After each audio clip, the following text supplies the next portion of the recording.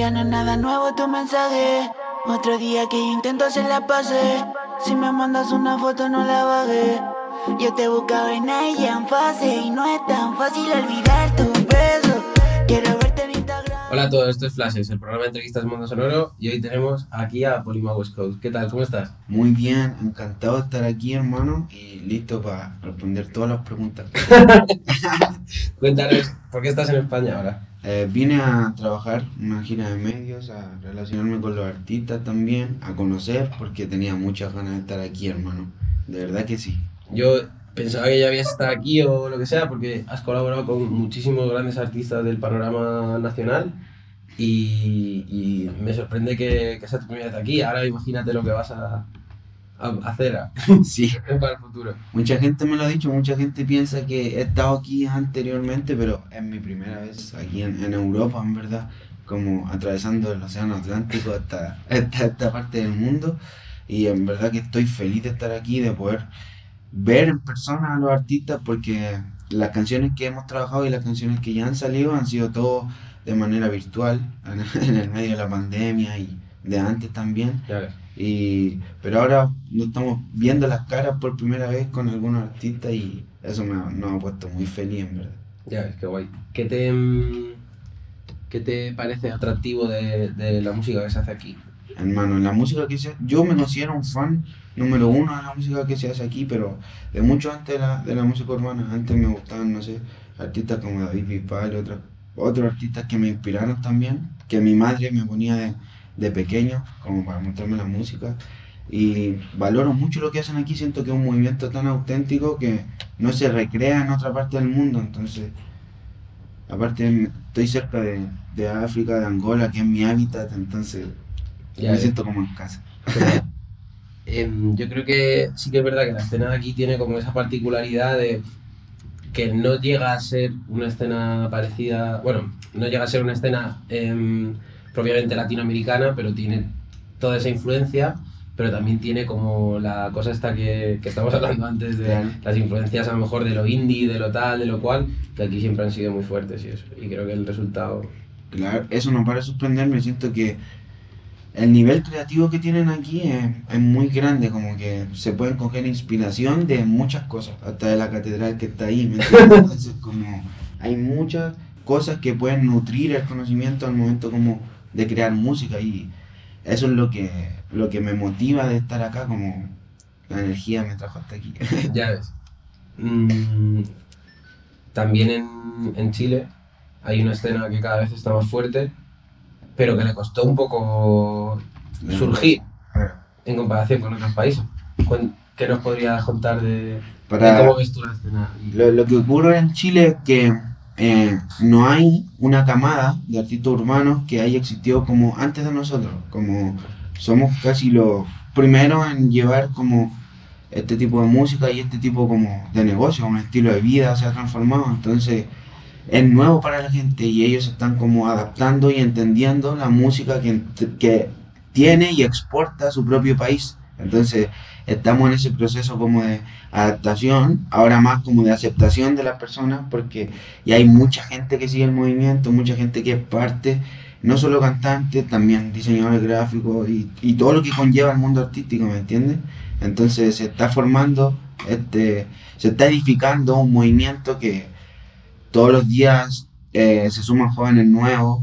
Hay- mi productor tiene 18 años Ya y ves. empezó a hacer música según él porque yo lo inspiré, entonces y yo tengo 24, llevo 3, 4 años recién como viviendo de la música, entonces siento que mucha gente se va sumando día a día y esto se va a transformar en algo mundial. Y es que es, es muy importante esto que dices porque sí que es verdad que alrededor de una buena camada de artistas, de músicos, tiene que haber una, una industria alrededor y una serie de gente alrededor, pues desde alguien que haga una portada, alguien que haga un videoclip que esté guapo, alguien que tal, y cuando realmente explotan las cosas es cuando existe ese ecosistema, ¿no? Como de... Yo, yo creo De eso, yo creo que es como una energía colectiva. Yo siento que yo por mi cuenta solo no podría hacer lo que estoy haciendo ahora si no fuera por el equipo que tengo. Yo siento que el conjunto como de energía o un conjunto de personas que vibran de igual manera mentalmente generan este tipo como de situaciones que lo llevan al siguiente nivel, aparte que dos cabezas piensan mejor que una y son ocho mucho mejor. Total. Y, y justo de la unión entre las, entre las dos escenas es que surge tu nueva canción, 4, Claro. con Arnie y con Pablo. Que, ¿Cómo surge esta, la colaboración? ¿Cómo conoces la música? ¿A través de, de dónde te llega la música de Aaron y cómo surge la colaboración con Pablo Chile? Eh, Aaron lo conocí, eh, bueno, en Chile hace unos meses atrás porque él tuvo la oportunidad de viajar con la gente de Amazon a grabar una película y tuvimos la, él estuvo allá y yo tuve la oportunidad de conocerlo, lo fui a buscar y estuvimos ahí haciendo mu- mucha música, mucho más que es- esa canción, esa fue la primera para darle en el gusto como a la gente, que es una canción muy impresionante también, genera como una... Ha funcionado muy adictiva también, exacto. Ah, ah, En Creo este que ya caso- lleva a un millón o casi un millón en... Ya lo pasó y a este minuto está 10 en, en, en Spotify como a nivel en, en mi país, en Chile, Claro. en el top 50 está 10. Y Qué bueno. Ayer escaló como 17 posiciones, estaba 27. o Pero ayer más. porque era viernes y había que...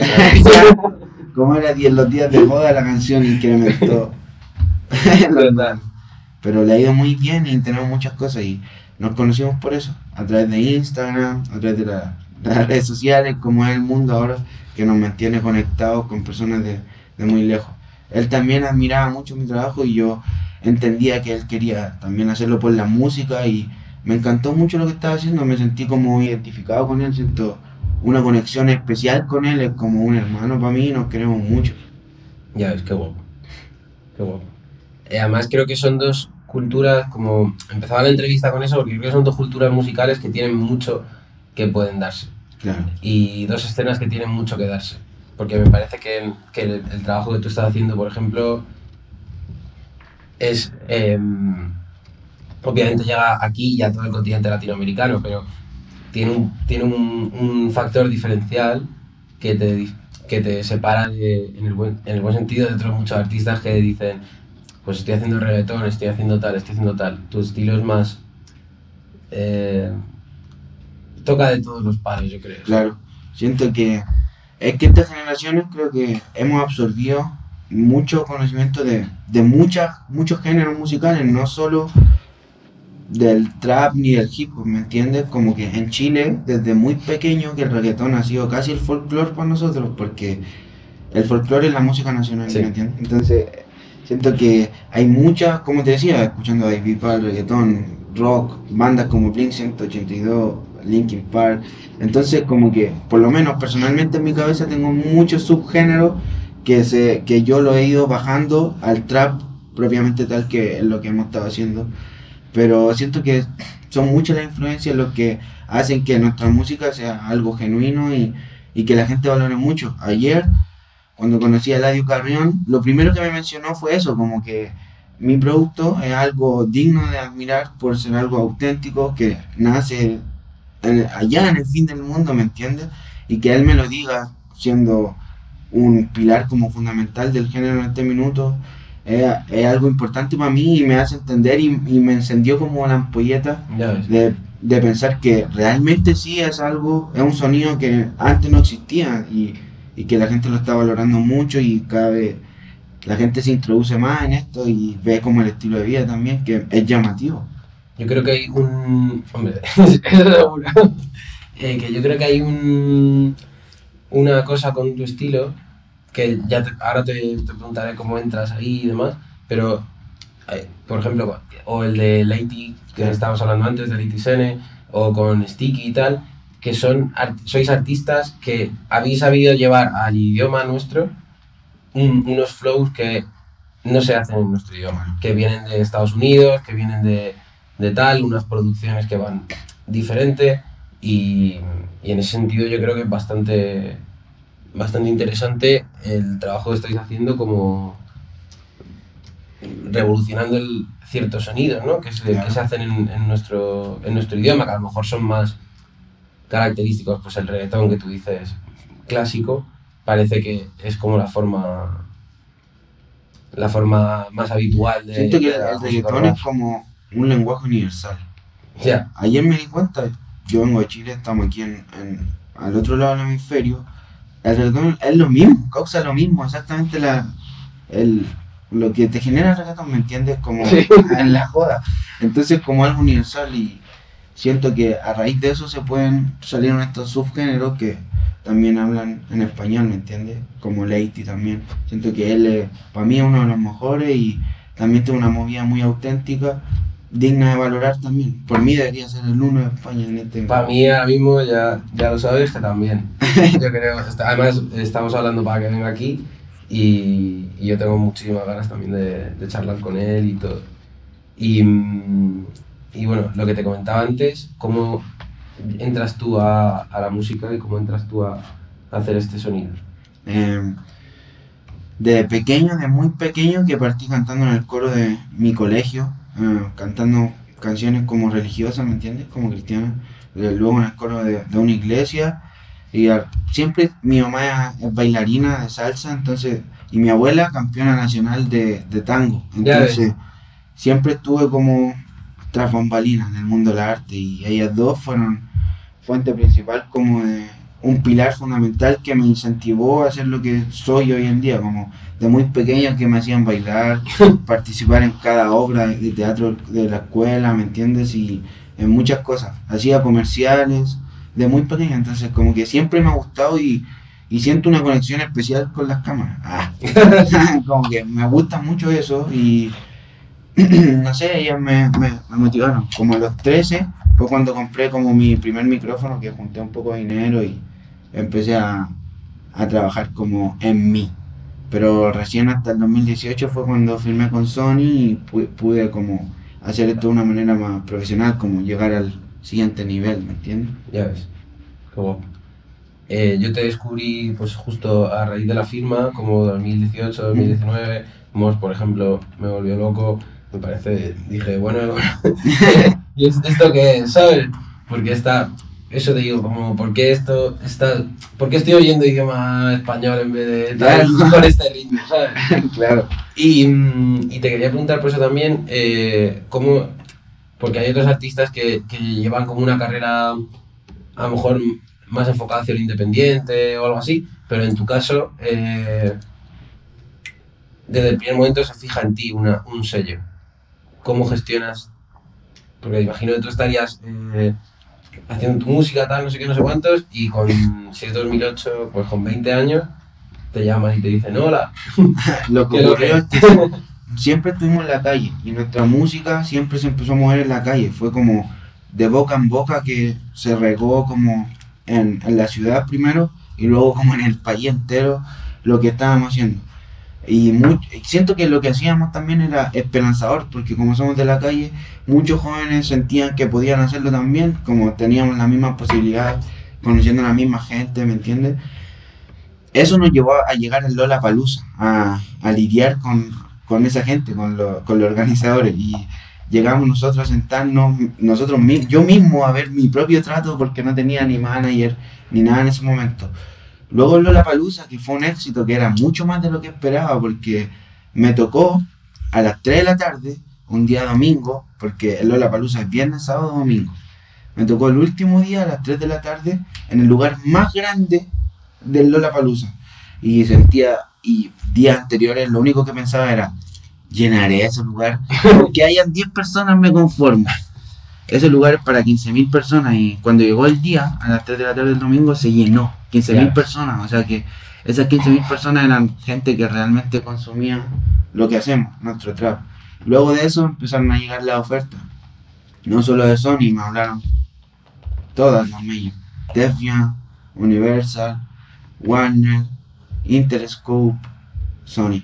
Todos ellos viajaron a Chile a conocerme y a, a, pasar días conmigo y negociar. Qué guapo. Pero Sony es se ha transformado como en mi familia, en verdad, porque me han dado el amor que estaba buscando y la libertad de expresión, que es lo que estamos buscando nosotros como jóvenes, de, de inspirar de esa manera, ¿me entiendes? Qué guapo. Eh, te, quería, te quería comentar también, bueno, quería que comentaras para la gente de España que a lo mejor no, no conoce la historia, qué pasa con Brock Boys. Mm.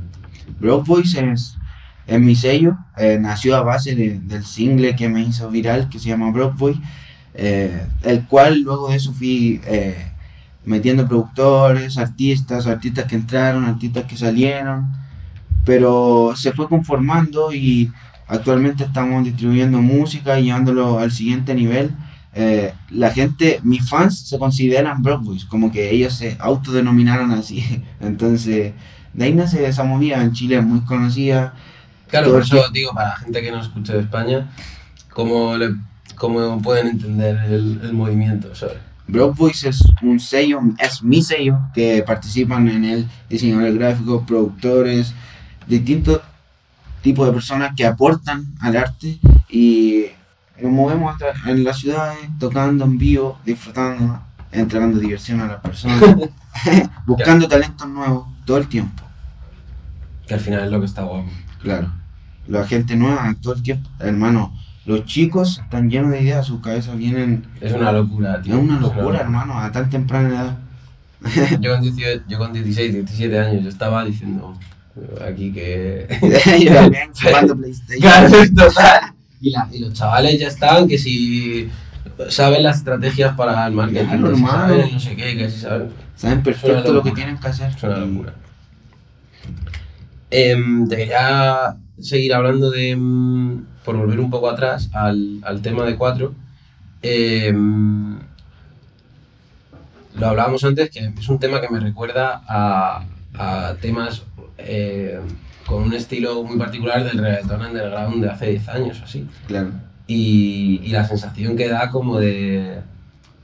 No sé cómo decírtelo. De... mm, como de juego, ¿sabes? Como de estoy haciendo esto por diversión, ¿sabes? claro. Y, mm, y bueno, eso. Yo siento que esa canción en particular es como back to the basic, es como volver así a, lo- a los tiempos de antes, como que la música se ha deformado y, se- y ha ido mutando y transformándose en lo que actualmente estamos consumiendo. Siento que un reggaetón de esa manera es algo no básico, simple, quizás la, la, donde la gente está buscando eso también, como la simpleza de las cosas, como la diversión ante todo, como el mensaje que tiene, también tiene algo por debajo donde, ¿me entiendes? Como, no sé, es, es realmente divertido y creo que por eso se está transformando, está ahora como 10 en, en, en mi país, ¿me entiendes? Em, te, quería, te quería comentar también, eh, aprovechando, aunque la entre...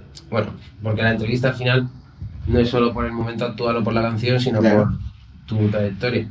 Em, quería que me hablaras de, de tu último álbum, de, De la las crónica. crónicas, sí. Las crónicas de Gan- Gangu es mi segundo nombre. Eso es lo que no sabía, Sí. y... Es que hay cosas que no le he explicado a la gente. Claro. Las crónicas de Gangu nacieron en, en el 2018. Nacieron a base de, de una desilusión amorosa que, que tuve que- en ese tiempo. Entonces a raíz de eso fui donde me puse nostálgico y me puse a escribir todo ese álbum. Y ahora me encuentro trabajando la, se- la segunda parte. Lo que la gente no sabía es que no, no, no sabían lo que era Gangu. Y Gangu soy yo mismo. Es casi como un alter ego. Porque no quería que la gente descubriera que esa era mi propia historia que estaba contando que podrían ser sad, ¿me entiendes? Como triste, pero a la vez tan energéticas también con los ritmos que, está, que estaba haciendo. Ahora me encuentro trabajando en el segundo álbum que ya salió, que en, en mi país fue un éxito, le está yendo muy bien. Y también tiene ese trap que es tan genuino y que no le tengo miedo como a, a ser yo el primero o, el, el que se atreva a trabajar como en ese tipo de cosas. Porque ha habido gente que tan pronto entró cuando entró el trap, se fue cuando dejó de ser como tren. Claro, Entonces ha habido gente, el, el caso por ejemplo aquí con Leiti o contigo ahí, que habéis seguido trabajando y tiene mucho más recorrido de lo que de lo que ha tenido. O sea, y en Estados Unidos evidentemente pues está todo el mundo haciendo eso todavía, ¿sabes? claro, me gustaría que la gente me recuerde por eso, que la gente piense en Polimá y me asimile de una con lo que soy, con mi música y con lo que quiero transmitir, como también es un mensaje esperanzador, creo. De, ¿Con qué colaboraciones de las que, o con qué artistas que hayas trabajado en tu carrera crees que has aprendido más o que ha, o que ha sido una experiencia más... Con Z he aprendido mucho. Con Z cuando lo conocí grabando Five Star, él me escribió para hacer esa canción, yo estaba en Argentina en ese momento. Cuando lo conocí y vi lo, la disciplina que lleva la música, porque para mí no era eso una música, ¿me entiendes? Para mí era eh, juntarme con mis amigos, estar en una trap house, eh, hacer eso, salir eso, vender, lo que es el trap, ¿me entiendes? Para mí eso era el trap. Con él conocí un lado disciplinado, responsable de la música, que te lleva a los siguientes niveles. Siento que al conocerlo me mostró un camino, un poco, no sé si limpio es la palabra, pero unos pasos que podía seguir que son pasos seguros, ¿me entiendes? Como ser responsable, la disciplina ante todo, como que estoy haciendo esto por un futuro, como necesito que mi hijo, sobrino, y necesito dejar un legado para mi familia y para hacerlo bien necesito hacerlo con disciplina y Zetangana me ha inspirado eso, me, me, ha enseñado eso cuando, cuando lo conocí. También, no sé, es como lo, lo que hace musicalmente, es algo trascendental, ¿me entiendes? Como me inspira mucho hasta el día de hoy. A mí también, te lo prometo. Me parece que a mí Five Stars me parece que es un tema que aquí pegó muchísimo y, y es un... Cuando, lo, cuando se hacen ese tipo de temas, a ver si me explico bien, cuando se hacen ese tipo de temas, uno los da por hecho. Claro. Pero es muy complicado que sea un tema así. Claro. Con unos artistas como los que estuviste haciendo ese tema. De la manera en la que se hizo, con, no sé, el, el estilo, que a lo mejor no va a conseguir, porque si os juntáis los mismos artistas y os ponéis un beat de Reggaetón. de reggaetón, a lo mejor es un tema con repercusión global. Claro.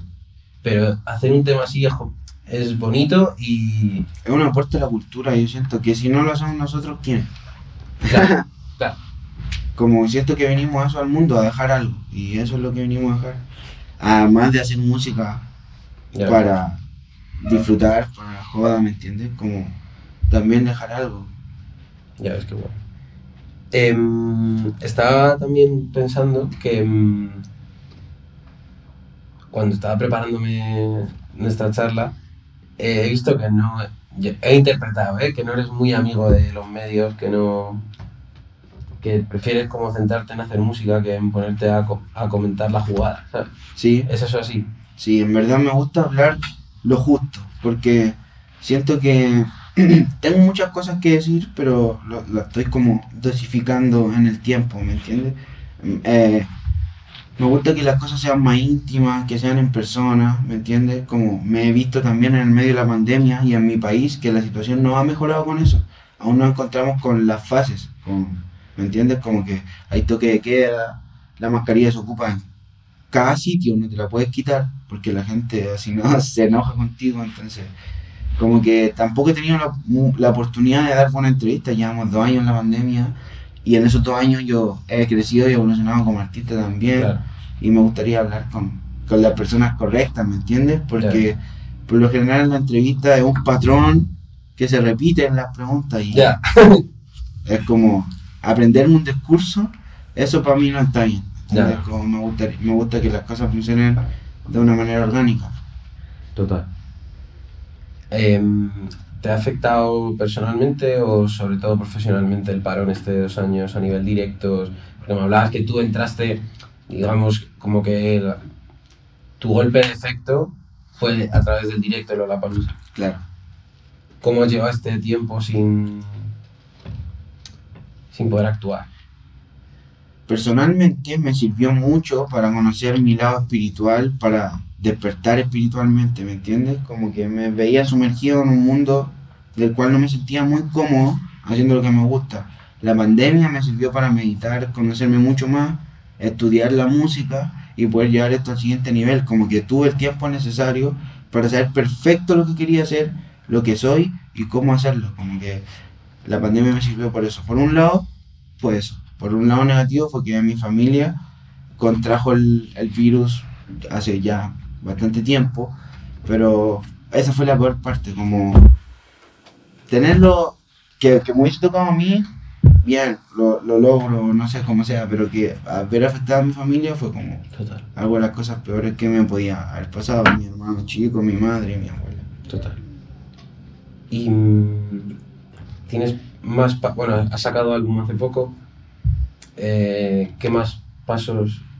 Ahora me esperas? encuentro trabajando en sencillos, quizás pues esté sacando singles porque mi disco acaba de sacar y la próxima vez que trabaje otro va a ser mucho, ¿me entiendes? Como que realmente quisiera hacer algo mucho más extenso, con mucho más contenido, ¿me entiendes? En este Crónicas 2 ha, ha habido para mí un salto, no sé si lo notas así. Sonoro. Sí, eh, le dedicamos mucho tiempo y lo trabajamos en uno de los mejores estudios de allá que se llama Estudios del Sur. Estuvo trabajando ya Mac Miller en, Ya su- ves, en sus últimos días, entonces él dejó ahí su energía. ya ves. Y trabajamos ahí, estuve encerrado ahí, en un estudio que está en el medio del bosque, como en el medio de la nada, que tiene una energía muy auténtica y ahí fue donde trabajamos la crónica y siento que tiene ese salto que también estaba buscando, como un sonido más global que le guste a todos, como también que suene high quality, es lo que más me, me mola. Es que eso está, está muy fino, la verdad. ¿Con qué productores te molaría currar? ¿O siempre vas con, con tu equipo? Eh, no, me, muevo con, con productores, me gustaría trabajar con, con Tiny en este momento, con, con Sky. Eh, hay un chileno que está metiendo mucho, que es productor, que se llama Taisco. También me gustaría trabajar con él, pero también me gustaría que, que Kanye, que Kanye West una canción. Hombre, eso sería... ¿Qué te pareció el disco? Me gusta mucho, me gusta mucho su disco, me gusta mucho su despertar espiritual y lo que está transmitiendo a las personas con, con su música. Él lo hace a su manera, pero creo que es algo que a nadie se le va a olvidar, a nadie. Todo el mundo sabe eso. Entonces logró lo que él quería, que era ser el centro de atención en ese momento. Lo logró y... Y encima la música está, está fina. Exacto. Que no es simplemente un producto de... al que vayan los focos y ya está, ¿sabes? Claro. Es que tiene 20... pues son dos horas de música de locos, de... Yo me acuerdo que lo escuchaba y decía, no, llevo una hora y todavía voy, voy por la mitad del viaje, ¿sabes? Lo- Solo el intro dura como 10 minutos. y, y bueno, hablando, por ir terminando, hablando de productores, una de tus colaboraciones aquí en España ha sido con Black Tower. claro. ¿Cómo, cómo surge eso? Porque para es un nombre que ha trabajado con muchísimos buenos artistas, pero que no tiene la repercusión que, que debería tener. De repente digo, joder, esta, Para mí, este tipo se está, este, yo digo, este tipo se, se ficha todo. En plan, tiene que estar pendiente de, de todo lo que pasa, ¿sabes? Sí, para mí Blackstone es muy duro, es uno de los mejores. Sus beats están muy bien hechos, man. Y siempre hemos tenido contacto y él siempre se ha mantenido mandándome packs de beats, no uno, 30. ¿Me entiendes? Como, y yo he ido trabajando en base a eso. La canción que salió, que se llama 231, Goa, eh, parte de su disco y es una de las canciones que hemos hecho. Ahora van a salir más por mi parte, pero esa era una para él y también la colabo se dio a través del Instagram. Ya. Él de haber escuchado mi música, nos escribimos y generamos esta amistad que pronto la vamos a fortificar cuando nos veamos en persona en Barcelona. Qué guay. Me, por, por darle, por cerrar con el círculo, me decías que al principio que en, en este viaje estabas aquí como de gira de medios para conocer a los artistas con, con los que ya habías trabajado. ¿Cómo es trabajar con alguien con el océano de por medio? ¿Sabes? Hermano, Estás acostumbrado. Sea, Es lo te digo porque yo no hago música. claro, pero es que es lo que yo tanto quería, hermano, es lo que siempre buscaba, como que estaba esperando el momento de estar aquí, poder conocerlo y hacer música, como era, es lo más importante para mí en este minuto de mi vida, como relacionarme con ellos, conocerlos en verdad, como con abrazarlos, conectar con ellos, me estoy bien, hacer Claro. música y es un placer que me está entregando Dios la vida, ¿me entiendes? Pero eh, no sé, algo tan natural, es como si nos conociéramos de toda la vida, es como si cada segundo fuese un déjà vu, esa es la situación. Ya ves. Qué Eso es lo que ocurre. Qué guapo. Pues con este final yo creo que, que me quedo aquí. Y mil gracias por venir. Estoy súper contento y súper orgulloso de, de que te hayas pasado por aquí. Y un verdadero placer, la verdad. Hermano, yo estoy muy feliz. La gente aquí me ha tratado como en casa. Son todos muy amorosos, muy humildes. con la gente que me relacionaba, hermano, hasta la policía me, me está tratando con cariño, entonces para mí eso es algo nuevo y me siento muy bien, hermano, me siento feliz de estar aquí. Muchas gracias por la invitación. Que hermano. sea más veces. Muchísimas gracias. Muchas gracias a ti.